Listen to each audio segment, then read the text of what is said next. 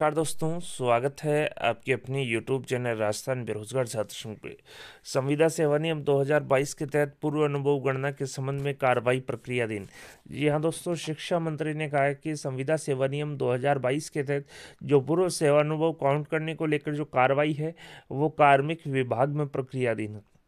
बता दो 21 मार्च 2023 को शिक्षा मंत्री डॉक्टर बी डी कल्ला ने मंगलवार को विधानसभा में एक प्रश्न का जवाब देते हुए बताया कि संविदा कर्मचारियों के जो पूर्व सेवानुभव के गणना के लिए संविदा सेवा नियम 2022 के तहत कार्रवाई प्रक्रियाधीन है।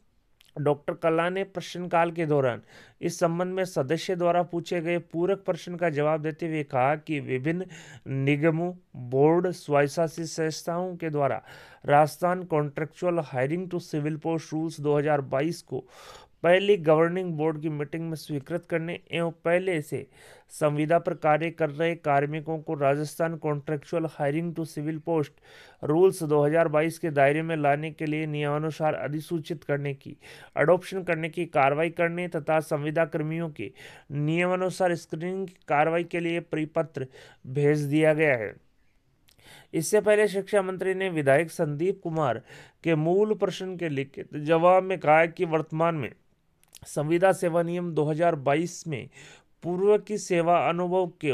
इन नियमों के तहत लाए जाने का कोई प्रावधान विद्यमान नहीं है। पूर्व के सेवा अनुभव की अवधि को स्केलिंग के आधार पर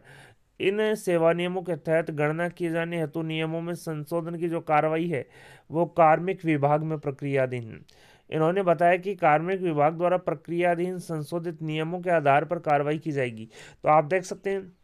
डॉक्टर बी डी कल्ला ने प्रश्नकाल में विधानसभा में एक जवाब पेश किया गया, जिसमें संविदा सेवा नियम 2022 के तहत वर्तमान में कार्यरत जो संविदा कर्मचारी हैं, उनके अनुभव की गणना को लेकर यहाँ पर कार्रवाई प्रक्रियाधीन बताई है कार्मिक विभाग में। जैसे ही कार्मिक विभाग द्वारा परिपत्र जारी किया जाता है इस संबंध में, उसके अनुसार विभागों द्वारा कार्रवाई की जाएगी। वीडियो पसंद आए तो अपने दोस्तों के साथ लाइक और शेयर करना न भूलें। आपके अपनी यूट्यूब चैनल राजस्थान बेरोजगार छात्र संघ को सब्सक्राइब सब्सक्राइब करें धन्यवाद दोस्तों।